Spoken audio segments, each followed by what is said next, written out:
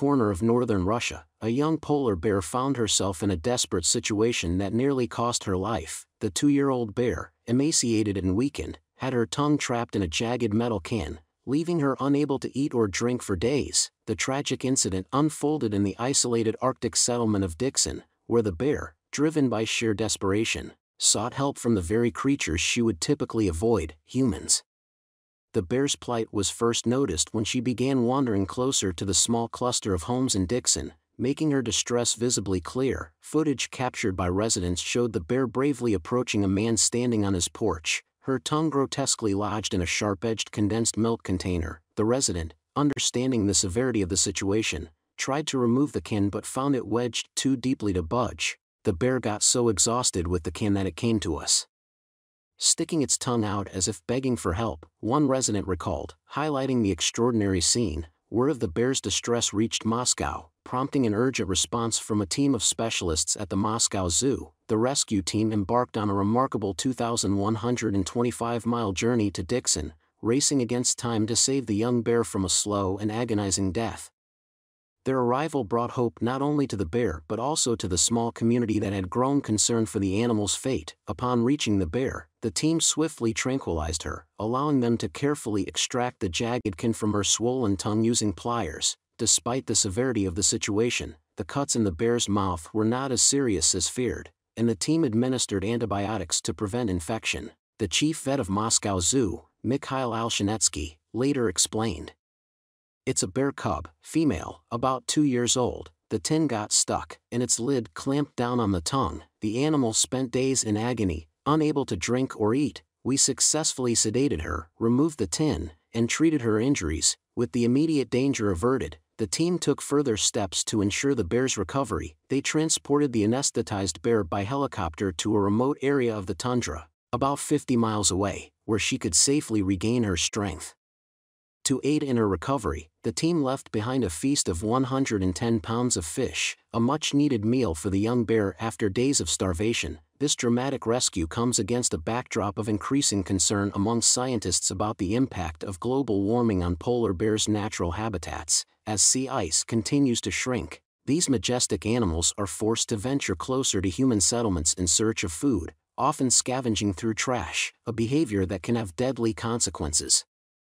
As this young bear's ordeal illustrates, the successful rescue operation was a bittersweet reminder of the ongoing challenges polar bears face in the rapidly changing Arctic environment. While this young bear was fortunate enough to receive the help she needed, her story underscores the urgent need for global action to protect these iconic animals and their fragile habitat from the devastating effects of climate change. In the remote, icy wilderness of the Severnaya Zemlya archipelago, a group of Arctic gold miners stumbled upon an unexpected and heart-wrenching discovery, a lost and helpless bear cub, orphaned and struggling to survive after her mother had died. The sight of the tiny, vulnerable creature, wandering alone in the unforgiving tundra, quickly melted the hearts of the hardened men. It wasn't long before the cub, too, began to trust her newfound human companions, finding solace in their presence and even developing a fondness for the bear hugs they gave her.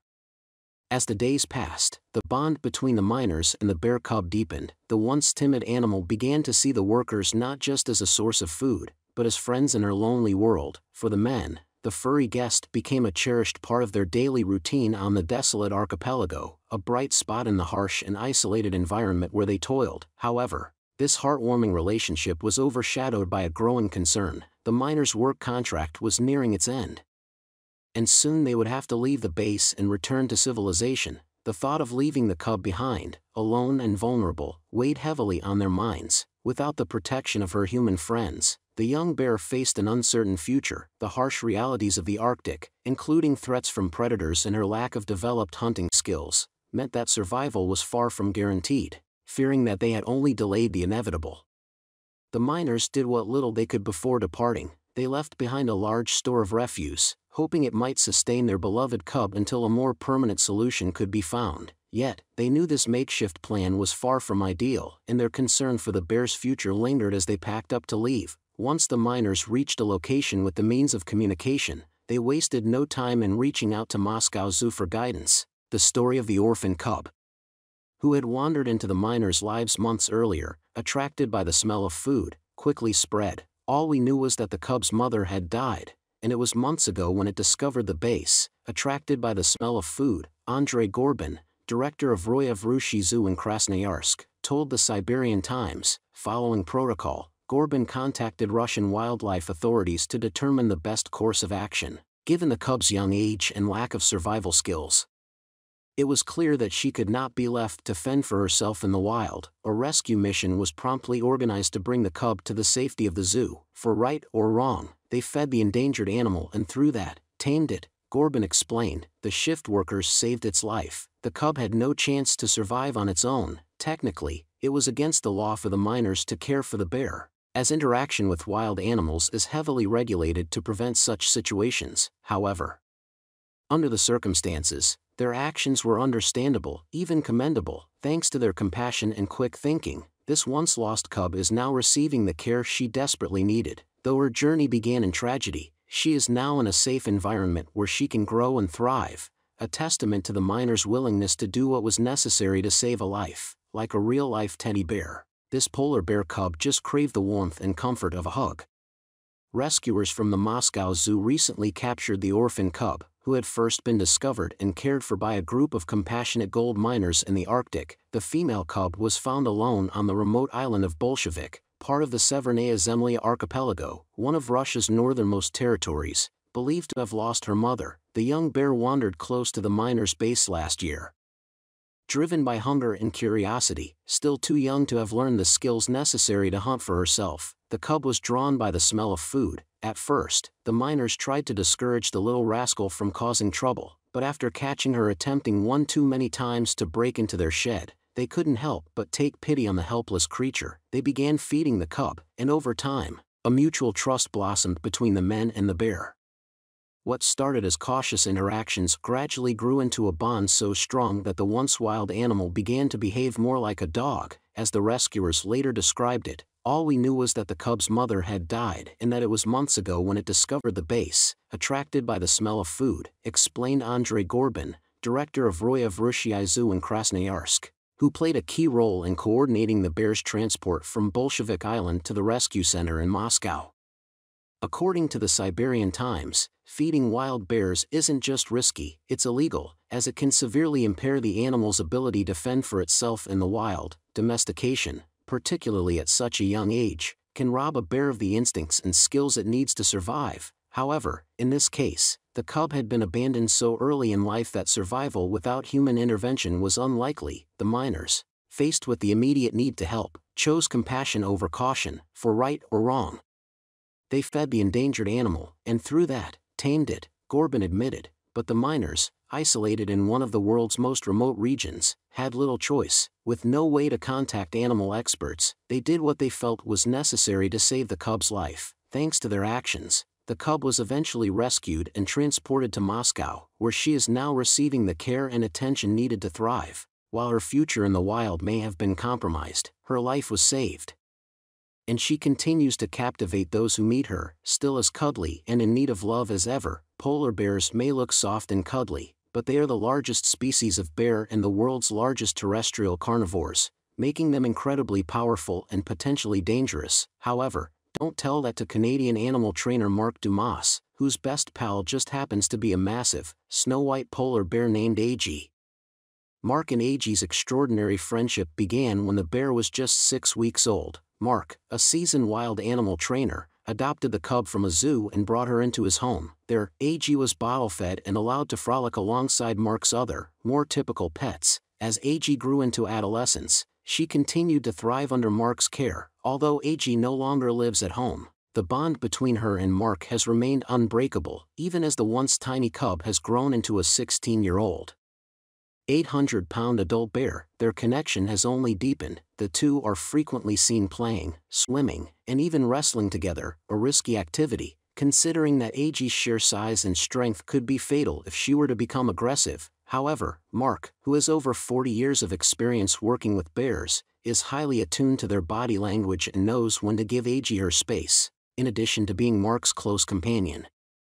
Agee has also become the world's first trained polar bear celebrity, she has starred in films like Alaska, as a cub, and appeared in numerous television advertisements, But Agee isn't the only unusual animal this talented man and his wife, Dawn, have nurtured and trained. The couple, founders of the British Columbia-based Beyond Just Bears, have worked with a variety of animals, from ravens to cougars and even grizzly bears, preparing them for roles in the entertainment industry, in the wild. Polar bears are typically found along the shores and on sea ice in the frigid Arctic region. These large mammals, which can weigh anywhere from 500 to 1,500 pounds, are the most carnivorous land animals, feeding primarily on ringed and bearded seals. While they do not usually seek out human encounters, polar bears can be extremely aggressive and even deadly if they feel threatened, unfortunately, like many animal species polar bears are facing severe challenges due to the melting ice caused by global warming. During the summer months, when they are most active, polar bears rely on sea ice as their primary habitat for hunting and establishing dens. As the ice continues to recede, these majestic creatures are forced to walk longer distances to find suitable homes, which in turn reduces the time they have to hunt for food. Compounding this issue is the fact that the loss of ice is also diminishing the population of their primary prey, seals. The situation is dire, but there is still hope if we can find effective ways to mitigate climate change and preserve the polar bear's natural habitat. We may be able to prevent these incredible animals from disappearing altogether, for now. Agee's story serves as a reminder of the deep connections that can form between humans and animals and the importance of protecting the fragile ecosystems they depend on. It might be tempting to view the presence of polar bears in Suffolk with a hint of skepticism, yet Jimmy Doherty, a farmer and television personality renowned for his work on the BBC series Jimmy's Farm and various projects with Jamie Oliver, his childhood friend, sees a vital role for wildlife parks and conservation efforts. Envision the vast expanse of Europe's largest polar bear reserve. Surprisingly, it's not located in the icy wilderness of Finland or the snow-covered Alps, but rather in the unexpected setting of Suffolk. This initiative is Doherty's ambitious project, diverging from the typical pastoral scenes associated with the region, the sight of a polar bear in the flat, verdant landscapes of Suffolk, with trains to London's Liverpool Street station visible on the horizon, certainly strikes as unusual the region is a far cry from the stark, frozen tundra that polar bears are accustomed to. However, hosting polar bears was never in Doherty's original plan. The journey began when he undertook a rescue mission about 18 months ago. Doherty received distressing news that Orsa Rovdjurspark, a predator park in central Sweden, was shutting down due to its sale to developers. With a looming deadline, the animals faced a grim fate if new homes were not found promptly. Among the animals in need was a group of polar bears, including Ava, an 18-year-old female whose prospects for rehoming were dim. Doherty, known for his reluctance to feature conventional zoo animals such as tigers or polar bears, found himself compelled to act. It was a situation I hadn't planned for, but there I was, he reflects, adjacent to his farm and wildlife park, which already shelters a diverse range of species including sheep, cows, goats, capybaras, tapirs, camels, and over 90 other types of animals, a significant new habitat has been constructed. Hidden from public view until its recent unveiling, this 16-acre enclosure, verified by the European Association of Zoos and Aquaria, EAZA, as the largest of its kind in Europe, features deep springs and extensive woodlands. At the heart of this expansive refuge, Ava can be seen, her face lifted to the sky, breathing in her new surroundings. Doherty has learned that Ava's preferred treats include honey and that she enjoys rolling in bark chippings, despite these gentle preferences. He is quick to remind us that Ava is not just a benign creature, she can be affectionate, but one must never forget she is a wild animal and the planet's largest terrestrial predator, he asserts, with a track record of rescuing a variety of exotic species ranging from raccoons to macaques. Doherty was approached as a last resort to save Ava, despite his initial trepidation about hosting the world's largest land predator. His commitment to conservation and animal welfare drove him to provide a sanctuary for this majestic, yet vulnerable, species. Through his efforts, Doherty not only offers a lifeline to creatures in need but also enriches the biodiversity of his local area, challenging the traditional expectations of a wildlife park in the heart of Suffolk, in a sprawling enclosure just two miles from the suburbs of Ipswich a land-based carnivore, a polar bear named Ava, has found a new home. Albeit far from the icy expanses typical of her species, the decision to rehome her here was met with skepticism. particularly from Michaela, the wife of the sanctuary's owner. She thought we were crazy, he admits. They have four daughters and live nearby. Michaela's initial fears were stark, nightmares of a polar bear looming in their garden. That's what you think, isn't it? What if it gets out? She worried, despite these concerns.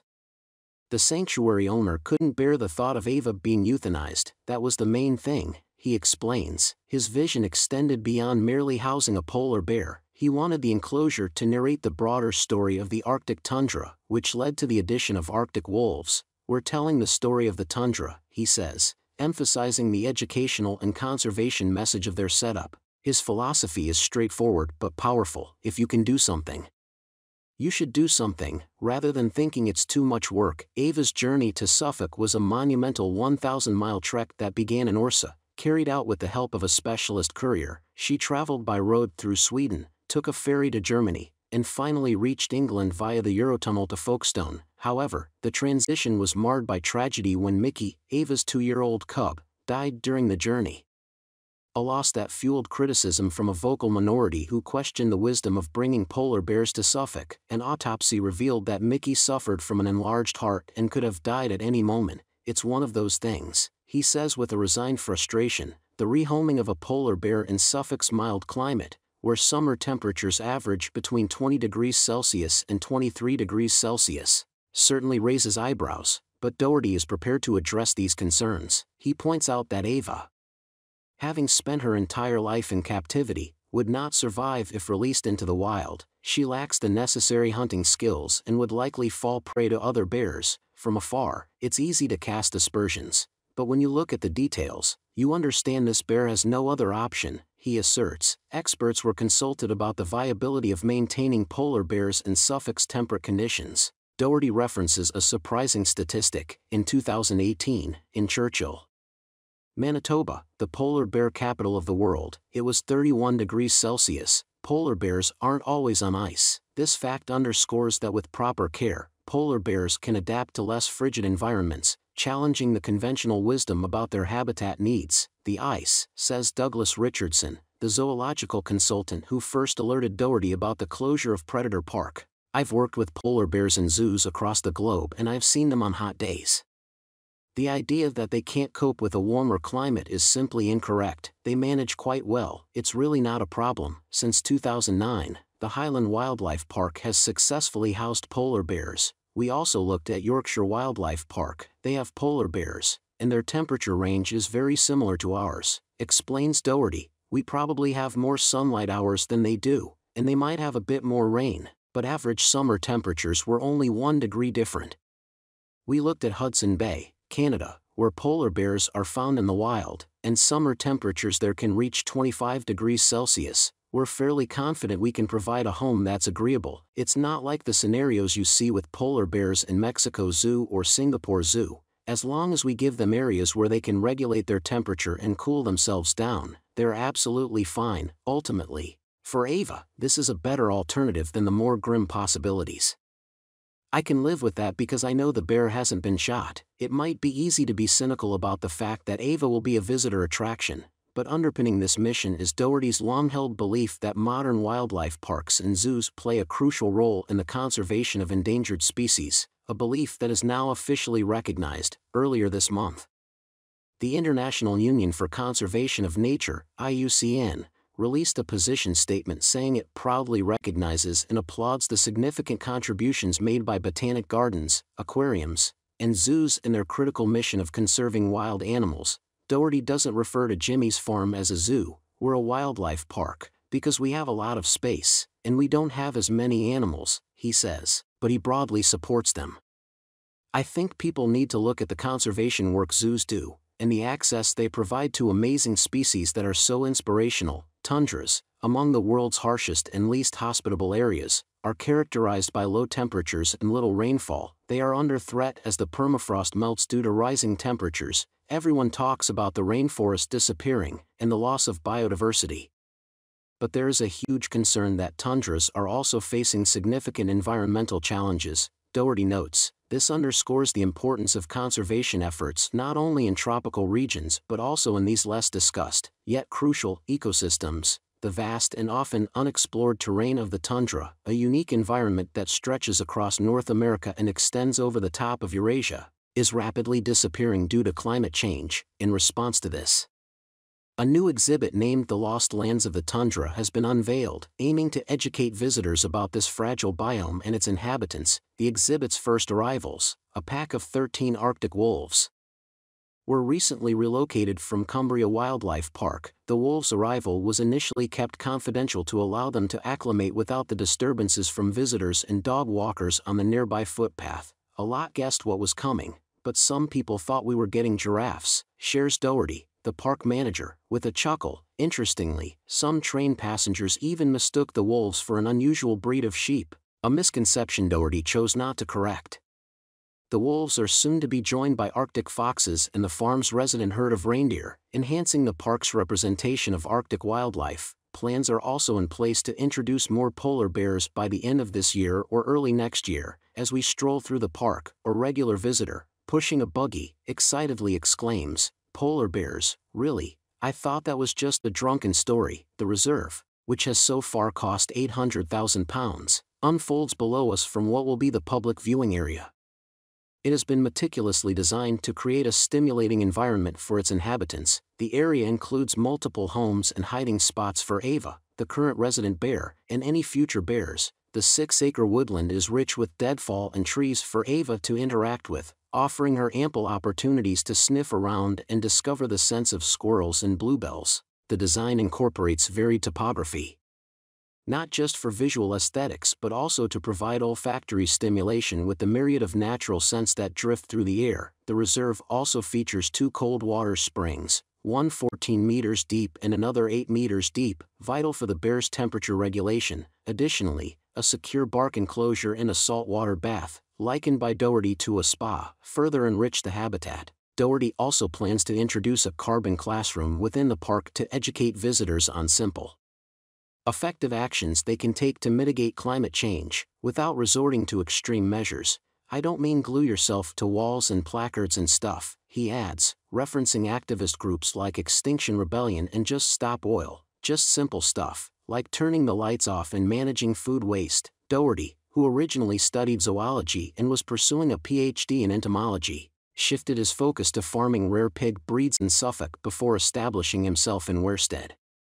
Ipswich, at the age of 24, his diverse background and commitment to both conservation and education are evident in the thoughtful creation of the Lost Lands of the Tundra. Situated on the picturesque grounds of Jimmy's Farm, the Essex Pig Company not only serves as a sanctuary for diverse wildlife but is also a vibrant hub featuring a wildlife park, a charming restaurant, and a well-stocked farm shop. This multifaceted venture reflects the evolving landscape of contemporary British farming which, according to the farm's owner, is currently navigating a period of significant upheaval. The owner elaborates on the challenges facing the agricultural sector today, which include escalating operational costs, the impacts of climate change, and significant shifts in agricultural policy following Brexit. He expresses a certain frustration with theoretical approaches to farming, stating, I'm bored of people creating models and pontificating without ever getting a bit of dirt under their fingernails. Addressing common criticisms of traditional farming practices, he counters the notion that agriculture is detrimental to the planet.